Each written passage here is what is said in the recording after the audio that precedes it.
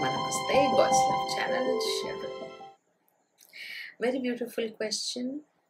I feel consciousness of people in other countries or abroad is higher than the Indian people as they are more advanced techni- technically or technologically and are more detached towards their relations. Is that correct? Okay. We cannot really judge that uh, if people are more um, you know technically advanced and we are not does not mean that they have higher uh, frequency or their consciousness is higher everyone me you foreigners any other person tribals people educated people uneducated people people with super technology scientists laborers no zero technology okay? Everyone is on their own personal journey. Yeah? Very much personal journey. No journey or no person can be compared.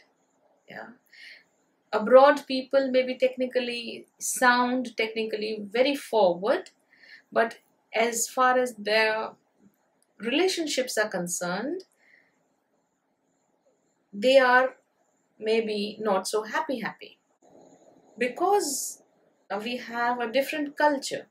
In india we are we give more importance to the relationships yeah. Spouse relationships children relationship there is no very cut and dry financial relationship you know it's like a love relationship.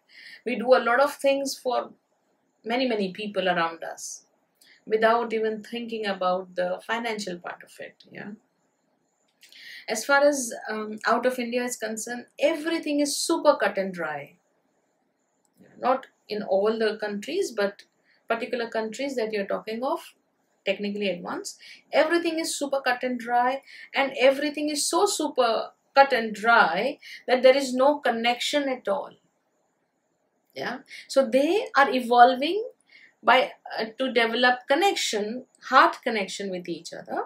We are developing to understand the inner self because we indians are super connected you know we have everyone gossiping and a lot of connections and a lot of other things that you all know what i'm talking of so here we are into a lot of clutter and noise so, what have we to evolve here is to go internal and know myself.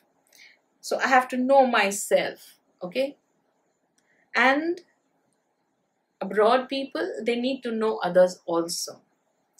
Yeah, they have known themselves, now they need to know others.